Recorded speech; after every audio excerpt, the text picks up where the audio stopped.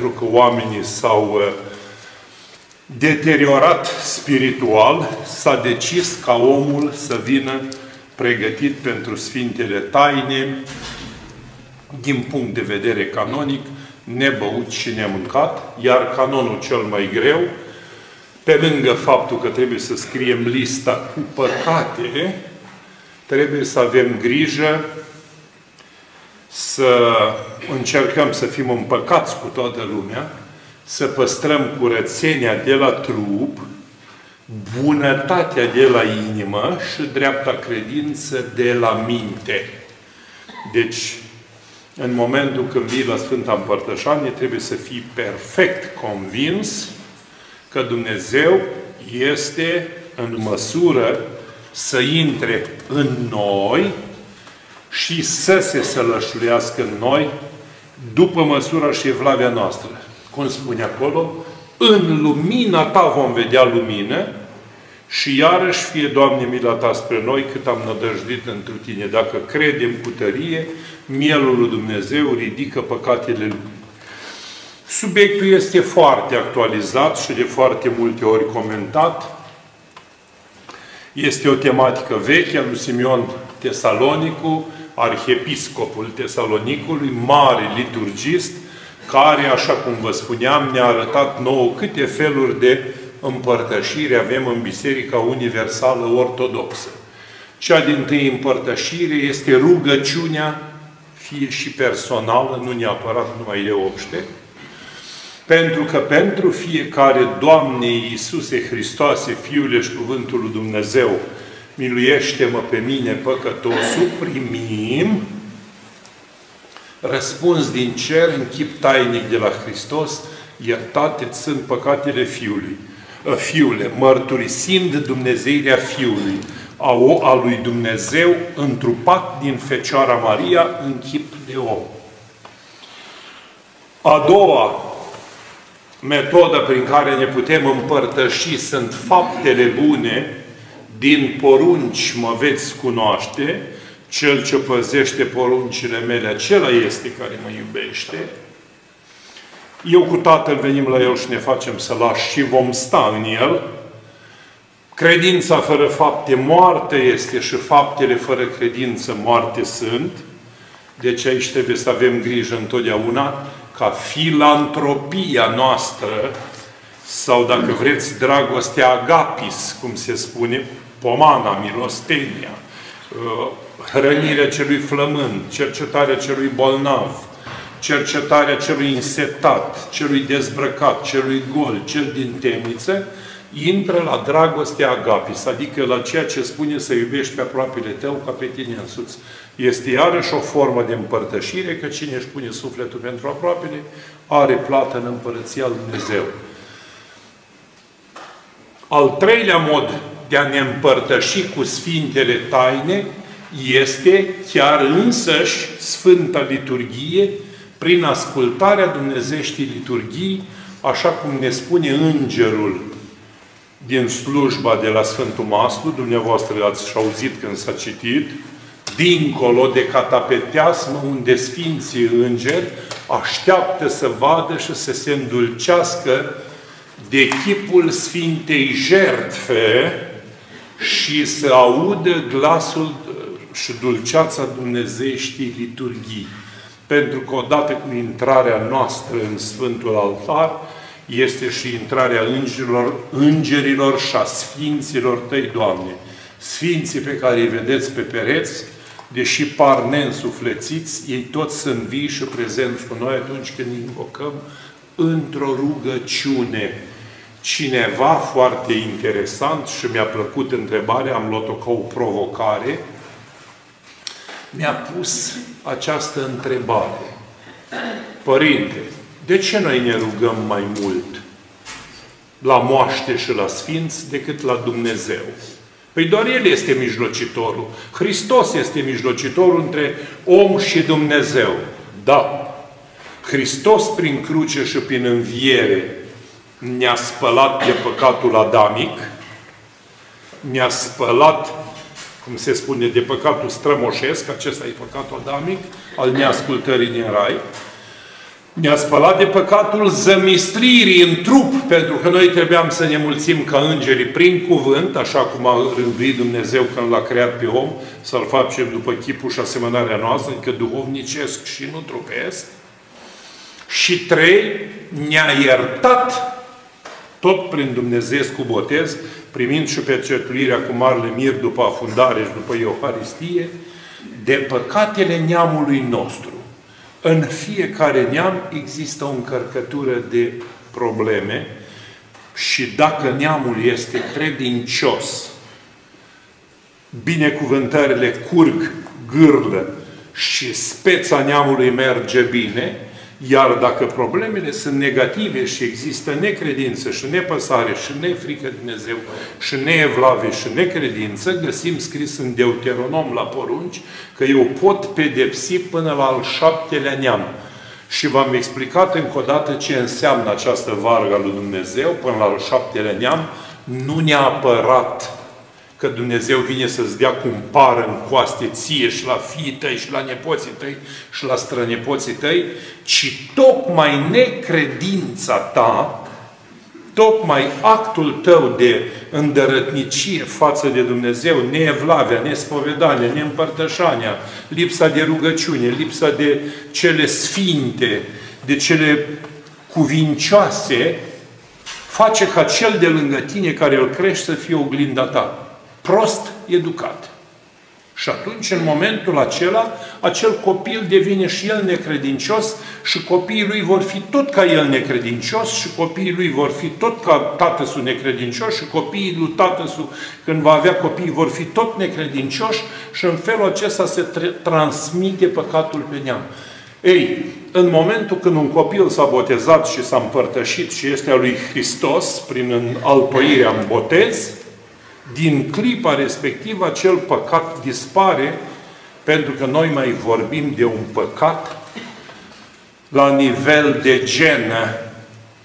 El nu poate fi încă justificat, noi nu știm adâncimea tainei, dar cert este că în momentul botezului, copilul nou născut, care a primit Dumnezeescul botez, este un diamant nepătat, strălucitor. Deci El este amanet al Duhului Sfânt. Ei, și mă întorc de unde am rămas. De ce ne închinăm noi la Sfinți? Ne închinăm la Sfinți pentru că acești Sfinți sunt oameni care au pătimit pentru Dumnezeu, despre care Apostolul Pavel spune așa, căutați la mai mari voștri și la învățătorii voștri urmați-le îndemnul și credința. Urmați-i și ur, vedeți cum și-au sfârșit viața și să-i luați ca exemplu. Spune în epistole, să ții dreptarul credinței cele sănătoase fiule Timotei. Iar tot în epistolele Sfântului Apostol Pavel, pentru surs și pentru ori, scrie acest lucru.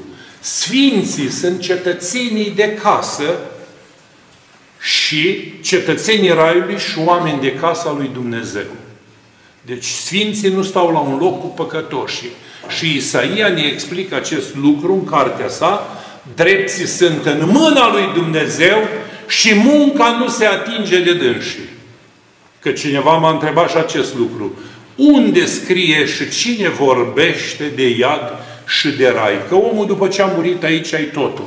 Nu-i totul. Ar fi foarte bine să fie asemenea porcului care îl tai la Crăciun și îi dai oasele la gunoi și carnea o mănânci tu și restul duci afară la toiletă. Nu.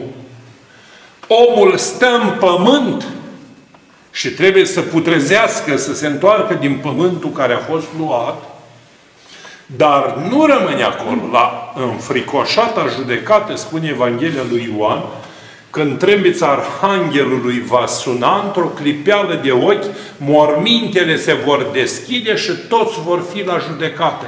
Și atunci începe judecata și a trupului și a sufletului.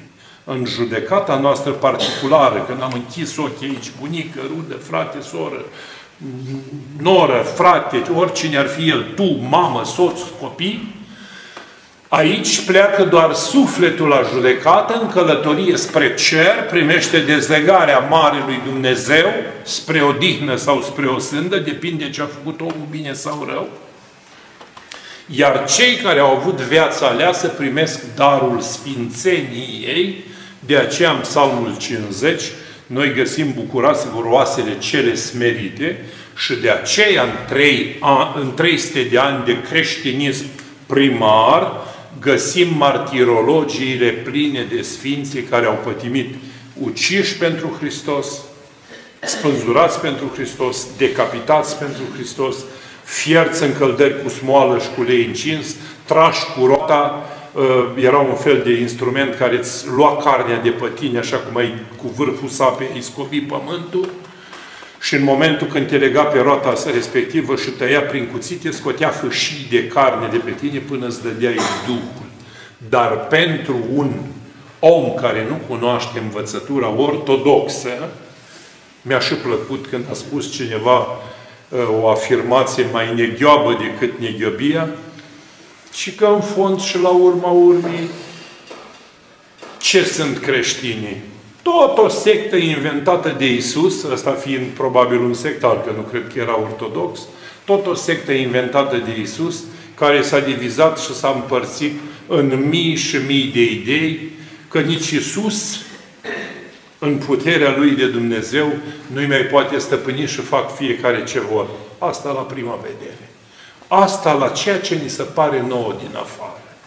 Când se va pune scaunele de judecată, atunci vom vedea care este rostul Sfinților. Și rog pe toți cititorii noștri și ascultătorii care sunt de față să deschidă Evanghelia Sfântului Apostol și Evanghelist Matei. Vă recomand și Ioan, dar e foarte greuță și vă trebuie un pic de atenție. Vă recomand și Luca, că e foarte grea și trebuie foarte mult atenție. El e și povestitor, și doctor, și narator, și pictor și are și imaginea pictografică a cuvintelor, nu numai a penelului. Și spune așa, când va ședea Domnul pe tronul slavei, se va pune tron de judecată pe norii cerului și 12 scaune pe care vor sta cei 12 apostoli. Iar sfinții vor judeca lumea. Ce ai să spui tu ca sectar nenorocit când ai să te vezi în fața pleiadii de sfinți pictați în biserici pe care tu i-ai jignit sau i-ai ironizat sau ai crezut că hulindu ei nu există. Deci a încerca să negi prin incompetență, prin mediocritate, prin lipsă de cunoaștere, arată cât de slabă credință este în sufletul tău și cât de animalizat este sufletul din tine. Deci noi nu-i putem contesta lui Dumnezeu harul sfințitor atât cât Iisus Hristos vine și aduce trei argumente. 1. Desăvârșirea. Fiți desăvârșiți precum Tatăl vostru din cer desăvârșit este. Sfințenie.